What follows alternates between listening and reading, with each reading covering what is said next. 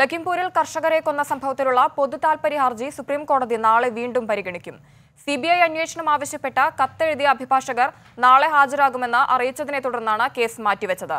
സംഭവത്തിൽ വിശദമായ റിപ്പോർട്ട് നൽകാനും കോടതി ഉത്തർപ്രദേശ് സർക്കാരിനോട് നിർദ്ദേശിച്ചു. അതേസമയം ശക്തമായ പ്രതിഷേധമുയർന്നിട്ടും കേസിൽ പ്രതിസ്ഥാനത്തുള്ള കേന്ദ്ര ആഭ്യന്തര സഹമന്ത്രി അജയ് മിശ്രയെ സംരക്ഷിക്കുകയാണ് കേന്ദ്ര നേതാക്കൾ.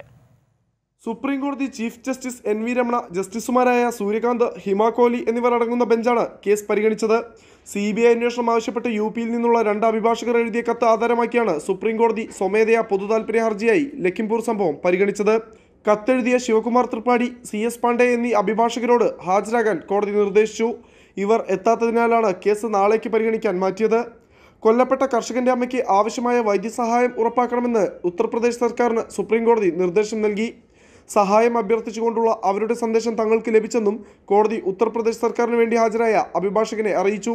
കർഷകർ കൊല്ലപ്പെട്ട സംഭവത്തിൽ പ്രത്യേക അന്വേഷണ സംഘത്തെ നിയോഗിച്ചിട്ടുണ്ട് എന്നും അന്വേഷണ കമ്മീഷനെ നിയമിച്ചു എന്നും യു സർക്കാർ കോടതിയെ അറിയിച്ചു.